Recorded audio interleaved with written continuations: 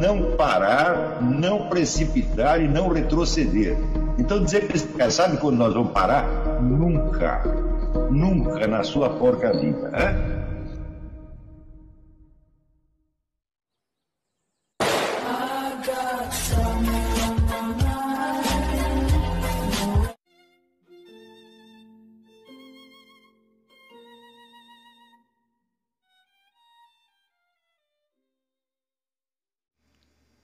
E aí pessoal, tranquilo? Então vem aqui antes do vídeo começar, pedir para vocês se inscreverem, quem não for inscrito, compartilhar, curtir, comentar. Quem puder seja membro do canal, que isso ajuda bastante. Tem também o link do Apoies. Quem puder ajudar nosso canal e apoiar financeiramente vai ser muito bem-vindo. Mas o mais importante é transmitir o conteúdo e os conhecimentos do professor Olavo de Carvalho para mais e mais brasileiros. Então compartilhe e ajude aí nossa causa. Muito obrigado a todos, todos os membros, apoiadores do canal. Fico muito feliz. Tenho certeza que a gente está no caminho certo. Então fiquem com o vídeo e até mais. Valeu! É, e agora vamos passar dizer, ao juízo. Bom, o juízo consiste basicamente em afirmar a existência de um sujeito, tá ou de um de seus atributos, de uma das suas determinações dizer, um conceito por si mesmo é uma coisa indeterminada. Você pega, por exemplo, o termo elefante, né? então você está designando uma espécie, mas de maneira indeterminada. Agora, se você fala, por exemplo, elefante asiático, elefante africano, elefante gordo, elefante é, pequeno, elefante doente, é, elefante cor-de-rosa com bolinhas, você está determinando, você está introduzindo determinações no conceito. Então, determinação é sempre uma especificação do conceito que o traz desde as alturas da generalidade para a particularidade mais concreta. Né? Então, substantivamente falando, isso é o juízo. O juízo afirma a existência ou de um sujeito, por exemplo, se você fala Deus existe, eu existo, ou em termos lógicos isso, se usa para isso o verbo ser, Deus é, eu sou, etc, etc. Se usa o, o verbo ser para significar não ser alguma coisa, mas simplesmente existir, né? é juízo de existência. Então, afirma ou a existência de um sujeito ou de alguma das suas determinações. Né? Por exemplo, o elefante tem quatro patas. Tá? É, formalmente falando, o que o juízo faz é estabelecer a conveniência ou inconveniência entre dois conceitos. Quer dizer, se este segundo conceito se aplica ao primeiro. Por exemplo, ter quatro patas se aplica ou não se aplica ao conceito de elefante. Isso é, convém ou não convém ao conceito de elefante. E, psicologicamente considerado, o juízo é o simples ato de afirmar alguma coisa, de assentir, ou de, não, não afirmar, porque afirmar subentende afirmar em voz alta, mas é, de assentir, de concordar ou discordar com alguma coisa. Né? Então, um detalhe importante é o seguinte, é que a proposição, a expressão verbal do conceito, ela se compõe de partes, quer dizer, o sujeito, o verbo, o predicado. Né? Ou o sujeito e o verbo, se for um, uma proposição de tipo existencial, Deus existe.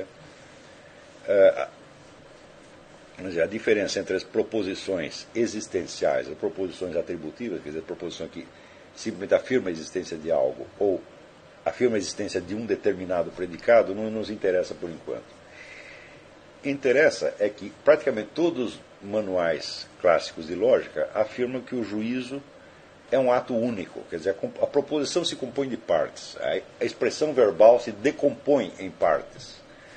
Mas o juízo, a afirmação, o ato de concordar ou discordar, é um ato único e indecomponível. Portanto, corresponde, vamos dizer, a uma percepção intuitiva que você tem. Né? Isso quando você diz que o elefante tem quatro patas, você vê o elefante e as quatro patas juntas. Não tem aqui o elefante e lá as quatro patas. A proposição decompõe. Tá certo? Então, então hum. Hum. Não precisa, só me dar um café. Então,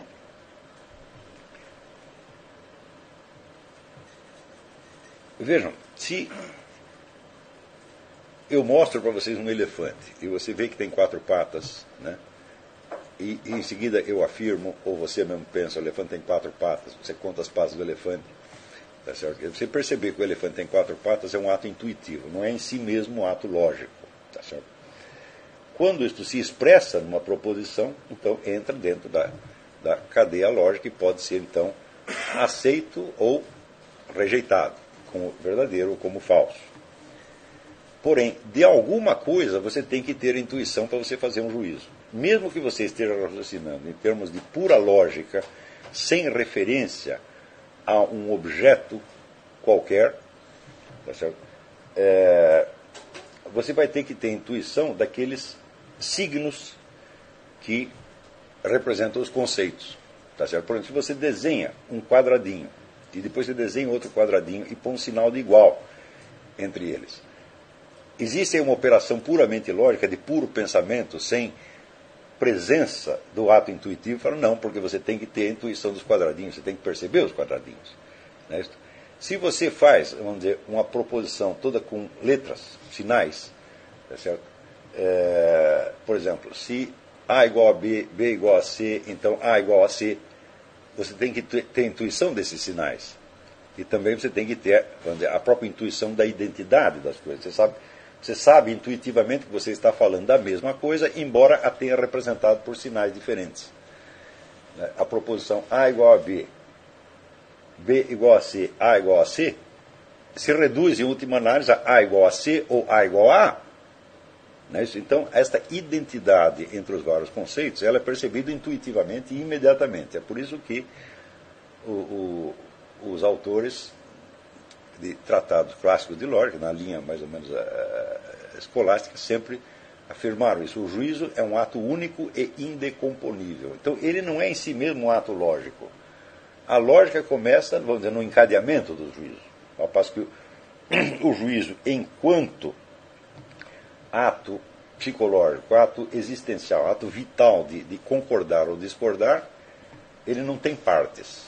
Tá certo? Mas as pessoas às vezes se deixam confundir porque a proposição, toda frase, tem que ter, se compõe de partes. Tá certo? Ora,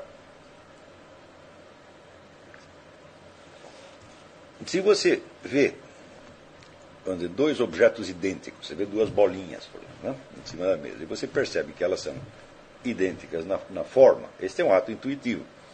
E se você vê no papel signos algébricos, nos quais você reconhece identidade ou diferença, você também está cometendo o mesmo ato intuitivo, a mesmíssima coisa. Tá se, em vez de você ver esses signos no papel, você simplesmente os pensa, você também está tendo um ato intuitivo, tá apenas de um objeto diferente. Quer dizer, uma coisa são duas bolinhas na mesa, outra coisa são letras que representam as bolinhas, e uma terceira coisa são intenções, vagas intenções mentais que, respondem, que correspondem ou representam uh, as bolinhas. Tá certo? Mas em todos esses casos você teve um ato intuitivo, valendo aqui apenas o objeto. Tá Isso quer dizer que se você pegar a estrutura lógica a mais abstrata que você possa pensar, onde não tenha a mais mínima referência a nenhum objeto do mundo sensível, ainda assim o juízo, a concordância ou discordância continua sendo um ato intuitivo. Isso quer dizer que não há nenhuma instância na qual se possa dizer que o pensamento lógico dispense a presença do sujeito humano real que concorda ou discorda. Não que você faça, vamos dizer, uma dedução enorme por computador. É isso? Olha, o computador, ele por si mesmo, ele não pode concordar ou discordar. Ele simplesmente pode dizer, mostrar para você a estrutura do raciocínio operando, vamos dizer, mecanicamente com sinais, né? colocar lá um, um sinal que, para você e não para ele, representa uma igualdade. Não é isso? Então, isso quer dizer que o, o ato central né, da, da, do pensamento lógico, que é o juízo, ele requer a presença do sujeito cognoscente humano real. Não tem como você escapar disso aqui. Mais ainda, se nós fizermos abstração desse sujeito humano real, não tem como você distinguir dizer, entre o que é uma proposição categórica, uma proposição que afirma a realidade ou verdade, alguma coisa, e uma proposição hipotética. Proposição hipotética. é, existem três tipos de proposições hipotéticas. Primeiro tem aquelas que se chamam conjuntivas, que é, por exemplo, é, A igual a B e B igual a C. Então você está afirmando dizer, duas proposições onde dizer, a verdade de uma está mais ou menos condicionada à verdade de outra. Né? A segunda são proposições disjuntivas, ou isto ou aquilo. Tá certo? E finalmente tem as proposições condicionais. Se isto, então aquilo. Tá Veja, quando você coloca um raciocínio lógico num computador, para o computador todas as proposições são hipotéticas. Todas elas. Por quê? Porque o computador não pode ter o ato da concordância ou discordância. Então, vejam que no centro mesmo da, da estrutura lógica existe um ato que tem implicações psicológicas e morais para o indivíduo. Não é isso? Então, também entendemos, é claro, que se diante de uma proposição obviamente verdadeira, o sujeito humano não quiser concordar, nada pode forçá-lo a isso. Então, quer dizer, quem quer que imagine, vamos dizer, que a demonstração lógica pode se impor universalmente a todos os seres humanos, independentemente da boa ou má vontade de cada qual, está muito iludido. Quer dizer, não há, não há prova absoluta. Toda e qualquer prova, a mais exata, a mais impessoal, a mais científica que você imagine, sempre dependerá, em última instância, deste ato que se chama o juízo ou julgamento, que é concordar ou, ou discordar. Não é isso? Então, como dizer, abolido ou feita a abstração do sujeito humano, todos os juízos se convertem em hipotéticos, só o que sobra, vamos dizer, são relações lógicas entre conceitos. Tá certo? Mas o juízo, isso é, o assentimento ou dissentimento, desaparece por completo. O que significa também que sem, o, sem a presença do sujeito humano autoconsciente que concorda ou discorda, como todas as proposições se tornam hipotéticas, isso tem uma consequência terrível para uma coisa que se chama as proposições modais.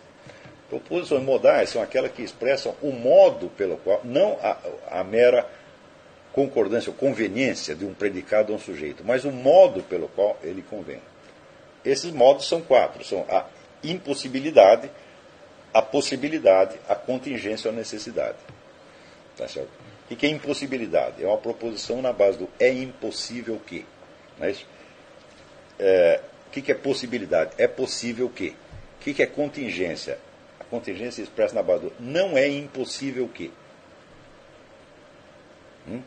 Quer dizer, você ainda não sabe se a coisa em si mesma é possível, mas você sabe apenas que não há uma impossibilidade intrínseca da coisa.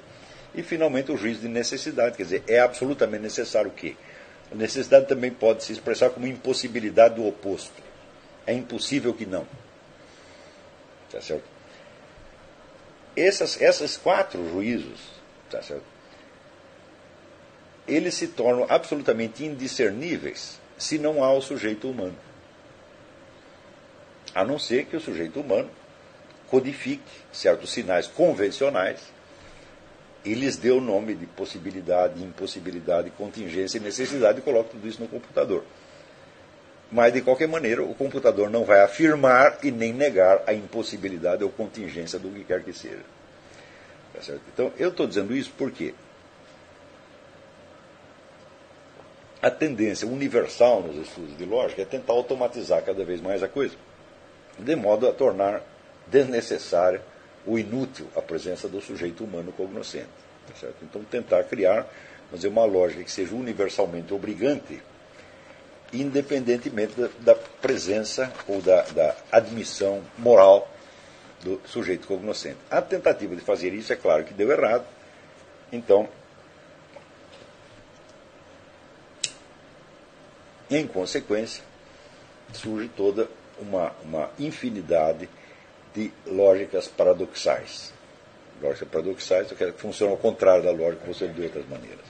Mas essas lógicas paradoxais, por exemplo, se você parte da, da ideia de que A é diferente de A, é elas também vão se basear na mesma lógica comum, porque o conceito diferente é baseado no conceito igual, e sem você ter o princípio de identidade, você não entenderia a lógica paradoxal.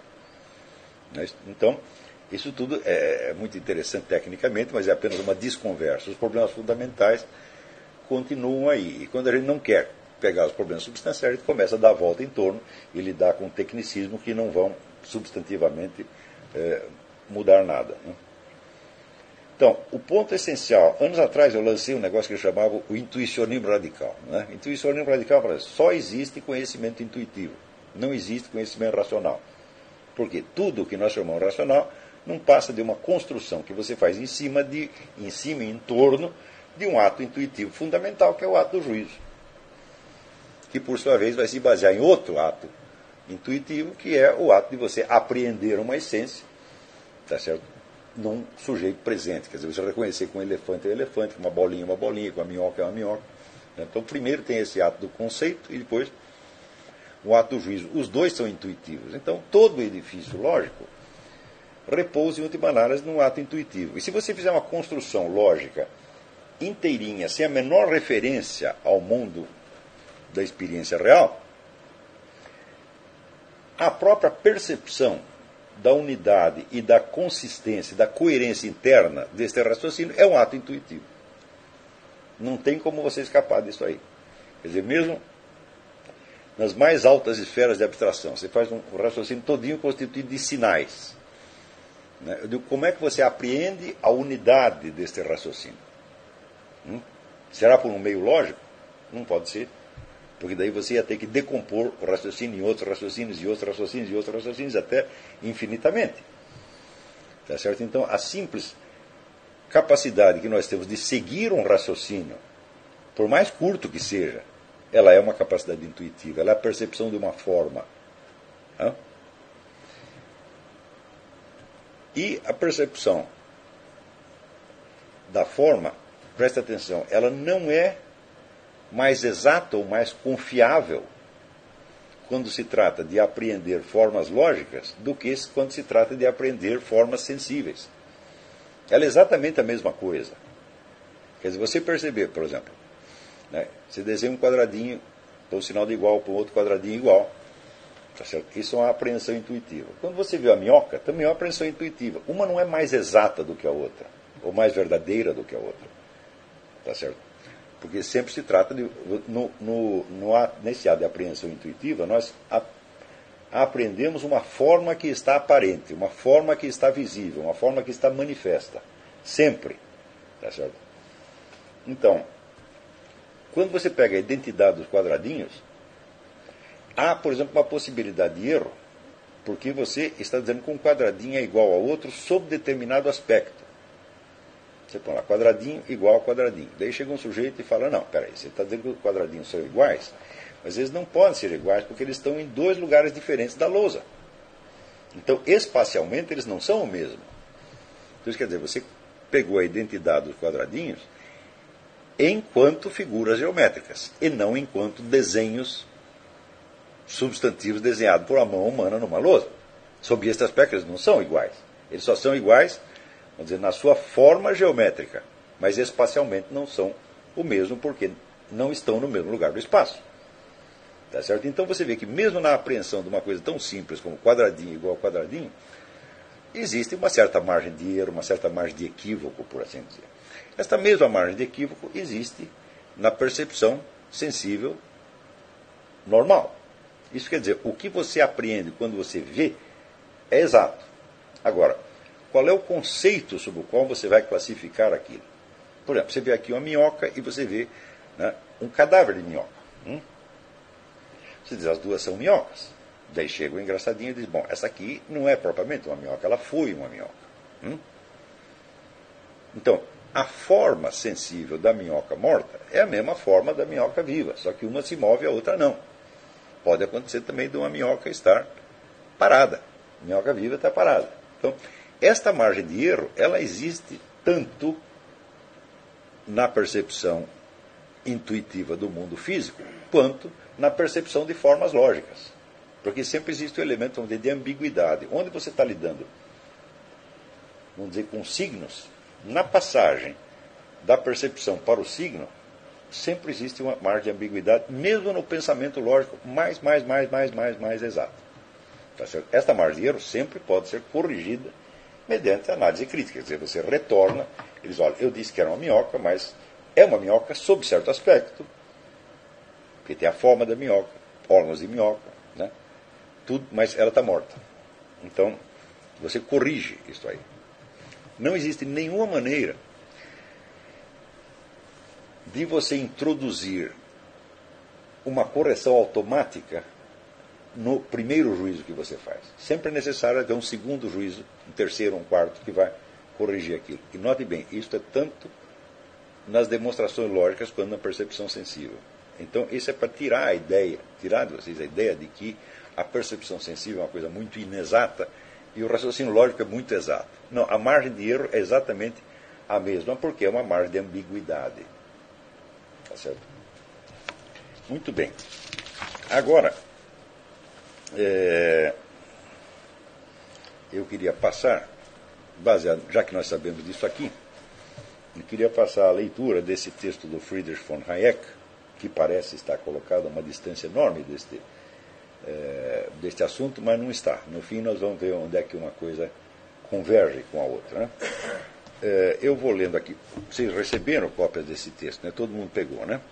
O texto está, vamos dizer, no, no livro The Counter-Revolution of Science Studies on the Abuse of Reason Estudos sobre o abuso da razão contra a revolução da ciência. Publicado aqui. É... O livro foi publicado pela primeira vez em 1952 pela Free Press. E eu estou usando aqui uma edição do Liberty Fund, publicada em. em, em... Epa. Eu publicada este ano. Né? Neste... Oi. Os microfones? Posso.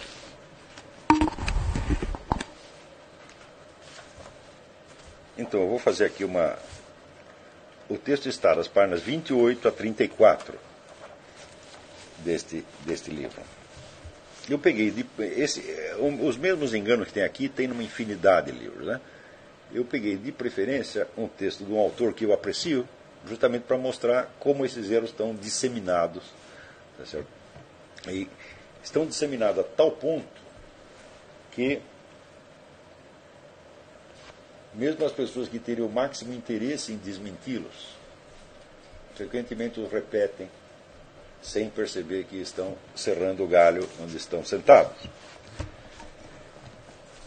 Eu vou fazer a melhor tradução que eu posso aqui, mas vocês podem seguir no, no original inglês.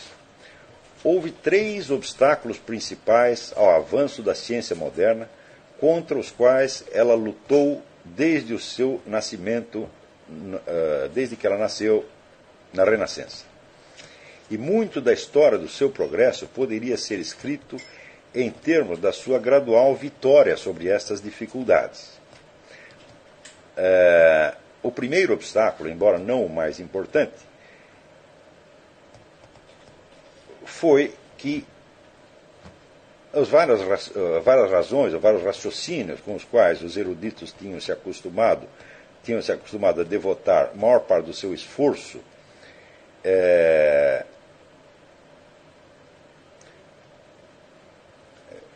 foi, consistiu em analisar opiniões de outras pessoas. Isto não era assim, não foi assim só por causa nas disciplinas mais desenvolvidas na época, como a teologia e o direito. Esse era efetivamente o objeto real de estudo. Mas ainda mais porque, durante o declínio das ciências na Idade Média, pareceu não haver melhor maneira de chegar à verdade sobre a natureza do que estudar as obras dos grandes homens do passado.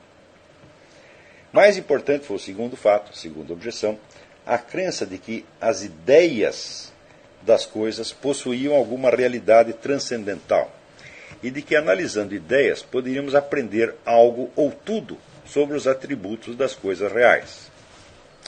A terceira, o terceiro e talvez mais importante fato foi que o homem tinha começado por toda parte a interpretar os acontecimentos do mundo externo segundo a sua própria imagem, como animados por uma, como se esses fatos estivessem animados por uma mente como a sua própria, mente do, do próprio homem, e que as ciências naturais, portanto, eh, encontravam por toda parte explicações por analogia com os trabalhos da mente humana, com o trabalho da mente humana, com teorias antropomórficas ou animísticas que buscavam um, um, um desígnio, uma intenção, um propósito e se satisfaziam se encontravam nele a prova da sua operação, da operação de uma mente agente, uma mente dotada de uma intenção.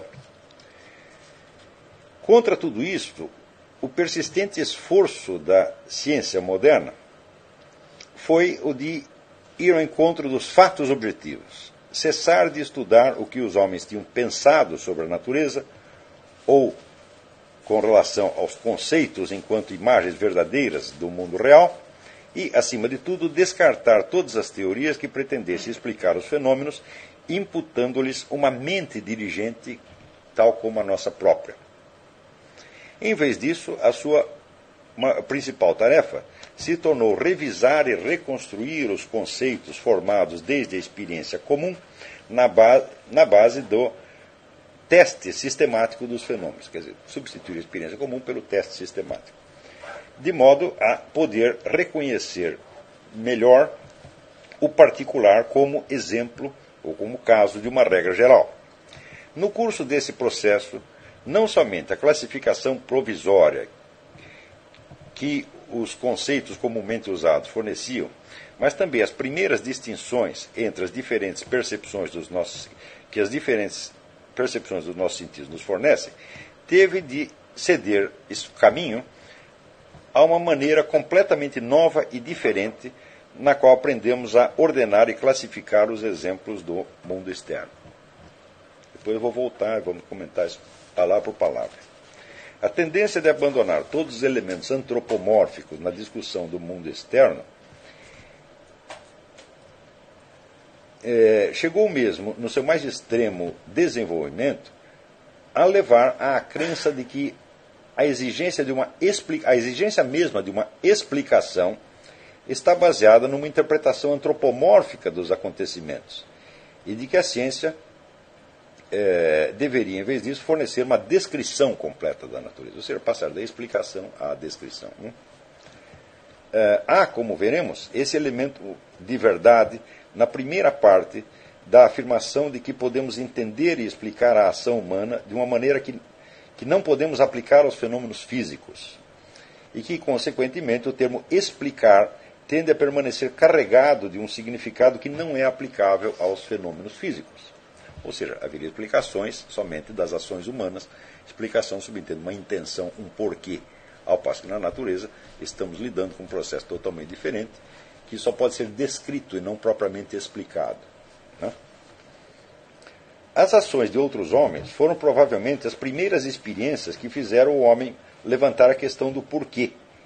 E ele precisou de um longo tempo para aprender, se, é, e parece não ter aprendido completamente, que com acontecimentos que não são ações humanas, ele não pode esperar o mesmo tipo de explicação que ele pode esperar obter no caso do comportamento humano. Então, vamos examinar esta parte aqui primeiro, depois vemos o, o, o restante. Então, ele diz que no surgimento das. Note bem, o livro ele se destina a fazer uma crítica da mentalidade científica moderna que vai aplicar ao mundo dos, das ações humanas, a economia, a sociologia, a política, etc., etc., as mesmas técnicas e instru instrumentos e conceitos descritivos usados em ciência natural, quer dizer, uma espécie de naturalização do, do, do pensamento científico nas áreas humanas. Né? É, essa, esse é o objetivo do, do livro, objetivo com o qual concordo 100%. Só que, no começo do livro, ele faz uma série de concessões a esta mentalidade naturalística, supondo que essas alterações metodológicas introduzidas na Renascença são legítimas em si e indiscutíveis. E essas alterações visariam então a corrigir três defeitos que são comuns a todo o pensamento antigo e escolástico. Esses defeitos então são três. Em primeiro lugar,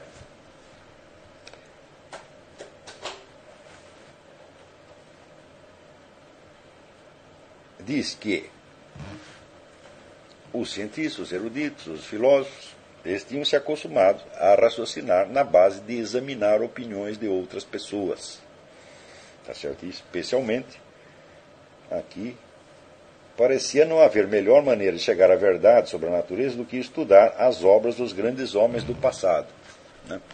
Ora, isso aqui é um erro histórico monstruoso, monstruoso, tá certo? E está é, tão disseminado, né? Se diz, não, durante a Idade Média o pessoal só discutia textos e discutia as opiniões de terceiros e a partir de um certo momento né, começou-se a investigar a natureza, os fatos da natureza. Isso aqui está praticamente qualquer manual de história do pensamento repete isso aqui como se fosse um dado histórico óbvio. Porém, quando você vai estudar as coisas mais de perto, você vai ver que foi justamente na passagem da Idade Média para a Renascença que surge o culto dos grandes livros do passado. Isso absolutamente não existia. É então, ademais, o, no livro A Evolução da, da Física, o Albert Einstein e seu auxiliar Leopold Infeld dizem que o pensamento de Aristóteles havia dominado como autoridade absoluta né, todo o pensamento até o advento da ciência moderna. O que é uma coisa inteiramente absurda, porque do que sobrou de Aristóteles só se conhecia na Europa uma parte muito pequena referente aos livros de lógica. Especialmente a física de Aristóteles só chega ao conhecimento do Ocidente no século XIII. Mesmo supondo-se que é, esses livros, tão logo chegaram, desfrutaram de uma autoridade total, né, isso não abrangeria toda a história do pensamento desde a antiguidade até o advento da Renascença, mas teria dominado apenas por dois séculos, quer dizer, de 1200 até mais ou menos 1400, 1500, dois ou três séculos no máximo. Né? Em segundo lugar, o fato é que os livros de Aristóteles, especialmente a física, longe deles desfrutarem de uma autoridade automática, eles foram todos rejeitados. E houve até um concílio que condenou explicitamente 23 teses da física de Aristóteles. Então, como é possível você dizer que este autor da antiguidade né, desempenhou uma autoridade absoluta durante aquele tempo? Né? Não foi, não foi nada disso. E quando nós vemos quais são os pontos que foram rejeitados, todos eles, a maior parte deles foram rejeitados não porque não batia com a doutrina cristã, mas porque não batia com as observações da realidade tal como eles as entendiam. Foi só depois de Santo Alberto Magno e Santo Tomás de Aquino terem reinterpretado Aristóteles que aquilo se tornou mais ou menos aceitável. Tornar-se aceitável não quer dizer que também começou a desfrutar de autoridade absoluta. Por quê? Porque havia uma outra corrente dentro da, da, da igreja, que é a corrente agostiniana, que está muito próximo, mais próximo do pensamento platônico do que de Aristóteles. Então, a rigor, Aristóteles nunca desfrutou de uma autoridade total, ou pelo menos tão avassaladora quanto a visão moderna lhe, lhe atribui. Isso tudo é um, é um, mito que não é sustentado de maneira alguma pela, pelos documentos. Né? É,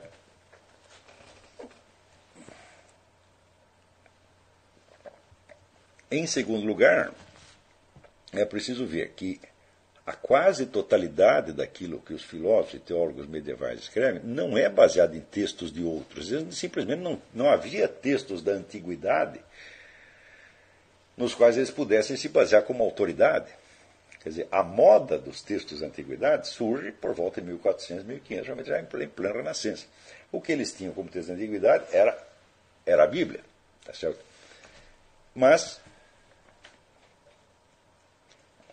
você, se você observar direitinho, você vai ver que a maior parte do que se escreve ali não é tirado dos, dos livros da Bíblia e também não é tirado do livro da Antiguidade, mas da experiência acumulada da vida cristã.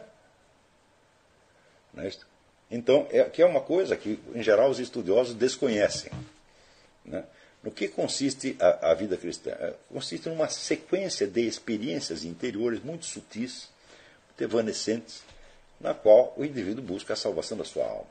Tá certo? Ele busca, de algum modo, conhecer os seus pecados, conhecer as suas, as suas fraquezas, rememorar o que fez, o que deixou de fazer, tá e está continuamente, vamos dizer, se reformando perante Deus. Quer dizer, o ato de você juntar sua, o seu patrimônio de, de, de pecados, tá apresentá-lo perante Deus no ato da confissão né, e depois você ser refeito pela Eucaristia, esta é a experiência cotidiana vivida por esta gente. E é daí que eles tiravam as deduções, e não de livros, embora muitas vezes, para descrever essa experiência, usassem termos Então podemos dizer que a quase totalidade da, da filosofia medieval ela é baseada, é uma reflexão sobre a experiência interior da vida cristã. Experiência que todos os filósofos escolásticos tinham todos os filósofos e todos os seus discípulos. Quer dizer, quando você acompanha, por exemplo, uma discussão escolástica, você está pegando somente as proposições formais que estão ali escritas. Mas elas subentendem, da parte da plateia e da parte do expositor, toda uma experiência interior que, para o, o observador moderno, entre aspas, é completamente opaca, porque para ele não existe. Quer dizer, se ele vai entender experiência apenas como experiência no sentido científico atual, quer dizer, experiência de laboratório, por assim dizer, então ele vai dizer, ah, a filosofia medieval não era baseada na experiência. Sim, era baseada na experiência, embora não nesse tipo de experiência. Se bem que esse tipo também não estivesse excluído, tá certo? Não podemos esquecer que, vamos dizer, por exemplo, as primeiras teses de Galileu foram rejeitadas porque não batiam com a experiência. Por exemplo, quando é, Galileu afirmava que o Sol é o centro do universo, né, a resposta de, de, do examinador inquisitoral, que foi São Roberto Bellarmino, que a resposta é uma obra-prima, aliás, ele diz, olha, você não tem a mais mínima prova disso, isso é um chute monstruoso. Né? Além disso, as, vamos dizer, as aparências sensíveis não, não confirmam isso. Né? Então você vê a argumentação sobre Roberto Bellarmino é toda na base da experiência. Tá? Então, por que, que acontece isso? Porque a, o tipo de experiência que Galileu inventou não é uma experiência fisicamente realizável, é experiência hipotética mental, experimento mental. Quando ele diz que ele não finge hipóteses, ele está mentindo, porque ele inventa, por exemplo, um negócio chamado plano inclinado sem atrito. Eu digo, um plano inclinado sem atrito só pode existir idealmente. Qualquer plano inclinado por uma, onde uma coisa role, algum atrito vai ter.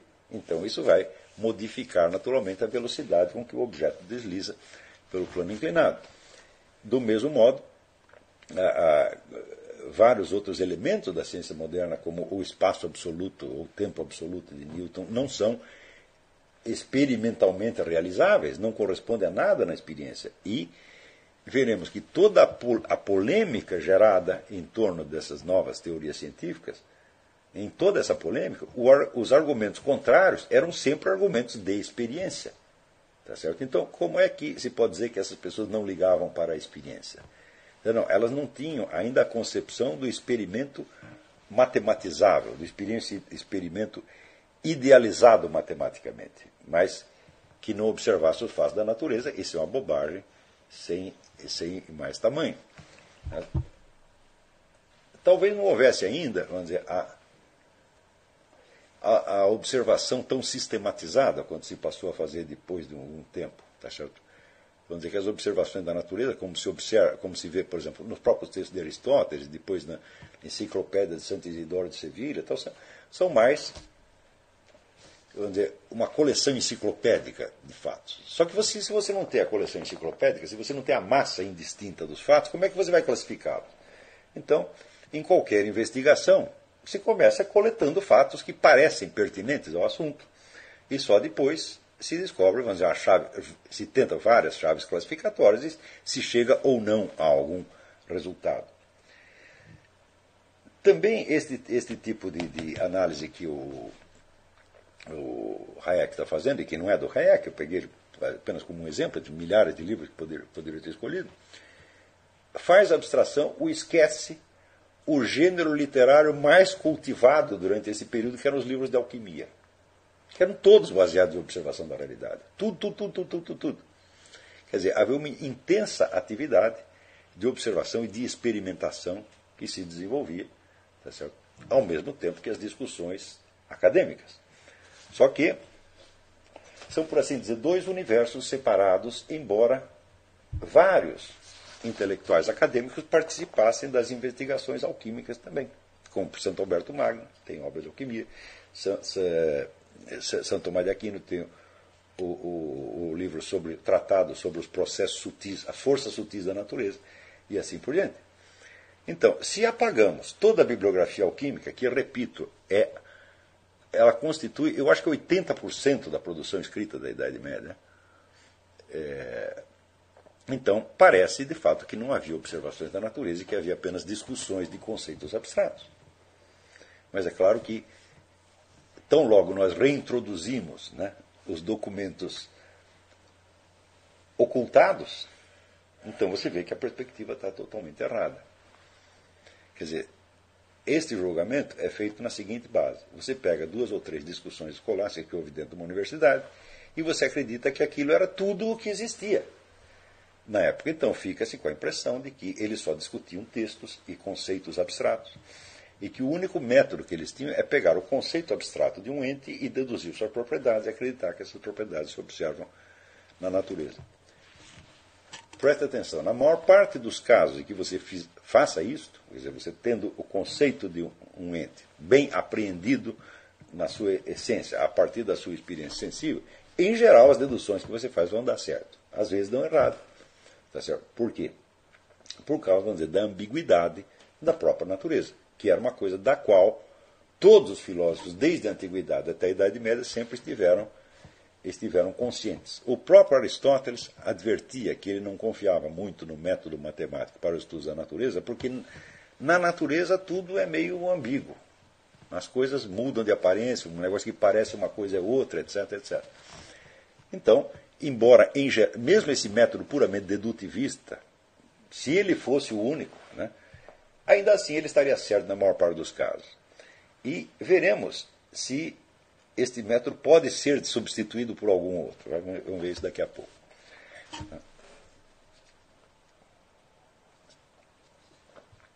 Então, em segundo lugar,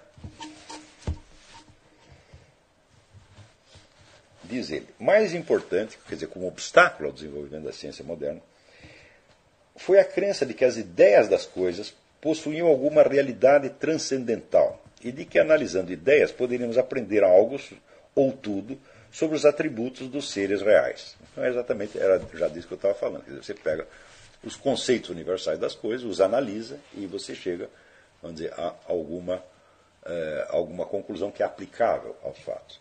Ora, me digam em que, que isto se distingue dos procedimentos da física teórica moderna.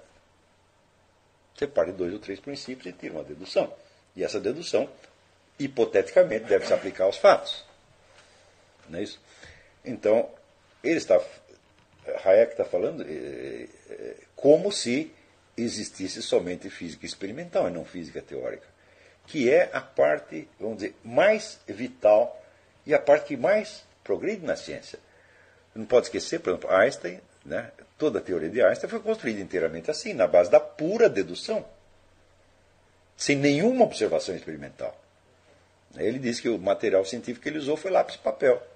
E mesmo assim, lápis e papel só para registrar eh, o que ele tinha pensado. Na verdade, ele usou apenas a sua própria inteligência tá e deduziu um monte de coisas sobre a estrutura da realidade, então, eu não vejo realmente que tenha havido nenhuma diferença na passagem de uma coisa a outra. Tá certo?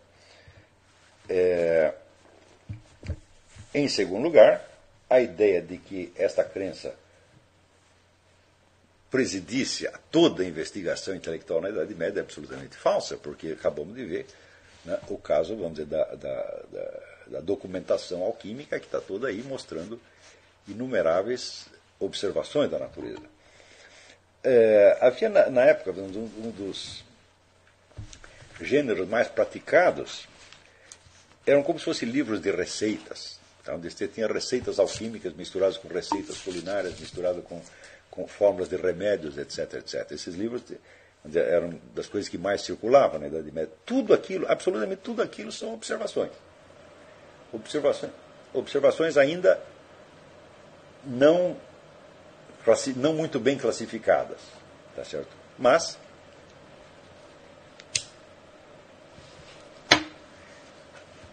como foi, por exemplo, que Charles Darwin obteve a sua famosa teoria da evolução? Foi coletando milhões de fatos inconexos e não classificados. Toda a ciência começa assim. Quer dizer, você tem uma, você tem uma fase de coleta, necessariamente no início de qualquer ciência ou de qualquer investigação. Vamos supor que você vai investigar um crime. Você é um policial, está lá investigando um crime. Se você já soubesse quais são os fatos pertinentes que dão a explicação, você já teria a solução e já saberia quem é o culpado. Então você vai começar a coletar fatos sem saber se esses fatos são pertinentes ou não. A separação dos fatos pertinentes ou não é posterior. Tá certo? Então você vai fazer milhões de perguntas que não tem nada que ver. É isso? Então, vejam que isso aí vocês podem confirmar na prática. Coloque uma pergunta qualquer e comece a investigar. Digo, ó, se você já sabe exatamente quais são as linhas causais, então nem precisa investigar, meu Deus do céu, você já tem a solução pronta. Como você não sabe, você não pode decidir de antemão se um fato X ou Y pertence à linha de explicação desejada ou não. Então, a fase de coleta é inevitável é, em qualquer ciência. Vejam vocês que somente, no, por exemplo, na, na biologia moderna, né, as grandes classificações só surgem a partir do século XVIII, com Buffon e Cuvier. Eles fizeram dizer, as, as listas das espécies animais por suas semelhanças anatômicas. Eu digo, ah, mas se você não tivesse né, milhões de bichos misturados, como você poderia classificá-los? É impossível. Né? Então, a classificação supõe que você tenha alcançado uma certa massa crítica. E, e exata, esse é um dos momentos, aliás, mais, mais bonitos de qualquer investigação, quando você tem. vai acumulando fatos, acumulando fatos, acumulando fatos, e quando você chega na massa crítica é quando as estruturas, as semelhanças começam a aparecer por si mesmas. Tá certo? Mesmo assim, isso não é uma certeza, ela te dá apenas uma hipótese classificatória, que vai poder ser testada. Né? À medida que você vai tomando consciência da chave classificatória meio inconsciente que você usou no começo. Tá certo? Então, eu creio que é, raras ciências podem se gabar de uma coleta de fatos tão completa e abrangente quanto os alquimistas juntaram na Idade Média. Tá certo? É claro que a prática alquímica continua e, aliás, se intensificou tá certo? muito na, na Renascença. Mas, curiosamente, o que foi que a inspirou? Foi o encontro da física de Aristóteles. A física de Aristóteles, vamos dizer, longe de ser aquela, vamos dizer, aquele conjunto de preceitos dogmáticos que imperou sobre a Idade Média e que foi abandonado na Renascença, não, foi, vamos dizer, a nova chave, vamos dizer, integradora e explicativa que deu impulso à alquimia na Renascença. Então, podemos dizer que a partir de 1400, você somar o que se publicou de, alquimia, a partir de 1400 até digamos, 1700, 1800, é maior do que o que se publicou na Idade Média. Só que havia uma nova força, vamos dizer, inspiradora, que era a física de Aristóteles. Então, como é que nós podemos dizer que o que caracterizou a renascença, vamos dizer, o ressurgimento, entre aspas, da, das ciências foi o abandono da física de Aristóteles? Não, foi exatamente o contrário. Também não podemos esquecer que de todos estes cientistas que inauguraram, cientistas e filósofos que inauguraram a nova mentalidade, todos, sem exceção, eram praticantes da alquimia de algum modo, uns mais, outros menos, mas todos. E essa gente toda foi justamente inspirada na sua prática alquímica pela leitura da física de Aristóteles, que havia então recém-chegado, por assim, por assim dizer. Tá certo? Então, longe de a Renascença ter sido uma, uma etapa que rompeu com a filosofia de Aristóteles, e sobretudo com a física de Aristóteles, não, ela foi profundamente influenciada pela física de Aristóteles. Na verdade, o conjunto da física de Aristóteles só foi contestado em dois pontos. Um ponto que estava manifestamente errado, que foi corrigido por Kepler, quando Aristóteles diz que as órbitas do planeta são circulares, e Kepler demonstrou que são elípticas, e foi corrigido, entre aspas, num ponto onde Aristóteles diz que um objeto que não é movido por outro fica parado. E Galileu entrou e disse: um objeto que não é movido por outro fica parado ou em movimento retilíneo uniforme. Esclarecendo em nota de rodapé: movimento retilíneo uniforme não existe, é apenas uma unidade de medida. Ou seja, então, se você comparar o texto de Aristóteles e o texto de Galileu, eles estão dizendo exatamente a mesma coisa.